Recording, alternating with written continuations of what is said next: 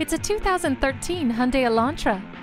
Of course, you want to feel confident while cruising, but safety is just as important. And with this Elantra, you don't have to choose between safety and style. Features include anti lock brakes, stability and traction control, a security system, multiple airbags, and cruise control.